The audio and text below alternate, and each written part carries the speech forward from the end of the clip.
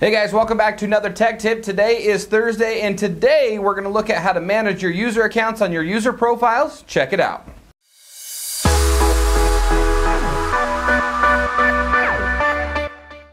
If you're new here, we do a lot of computer help tutorials, how-tos, things like that. So don't forget to hit the subscribe button and little bell icon to make sure you receive future notifications. Enough with the jibber jabber. Let's check out the video. There's two different ways that you can access your user accounts. If you are on Windows 7, what you'll want to do is come down here and left click on the start menu.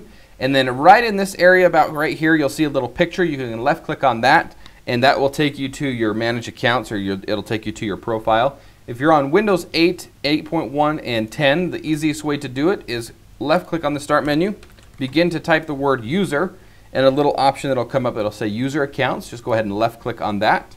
And it's going to take you to your user account. So from here you can go in, change your account name, change your account type, manage another account, uh, change user account control settings, things like that. And then if you wanted to make another account, what you can do is you can click on manage another account It'll take you to this screen, and this is this screen is very similar to Windows 7. Uh, you'll want to click Add a new user in PC settings, or in Windows 7, it'll, it'll just say Add new user.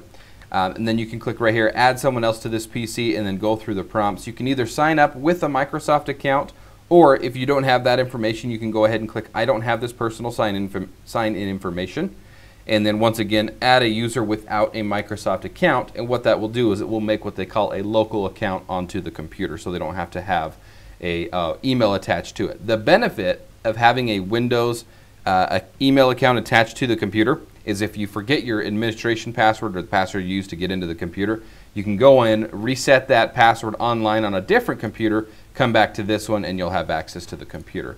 A couple of the other options that we have on here, let me go back one step is change your account name. Of course, I have mine set to recording here, but if you change your account name, you can have it set to whatever you want, your name, kid's name, things like that. Change the account type.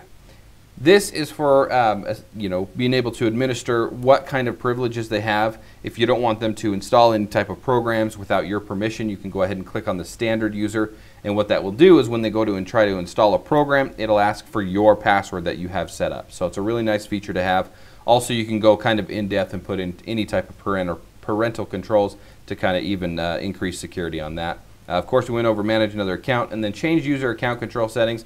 We usually want to leave this alone because this is a security device or a security feature that Windows has put into the computer to help it to where malware or infections on the computer cannot make changes to the computer without your consent. So uh, that's just a quick overhaul of how to manage your accounts. Hey everyone, thanks for watching that tech tip. If you liked it, thumbs up. If you hated it, thumbs down. Don't forget to share the video. Just a quick question of the day. Before you do go, how many users do you have on your PC?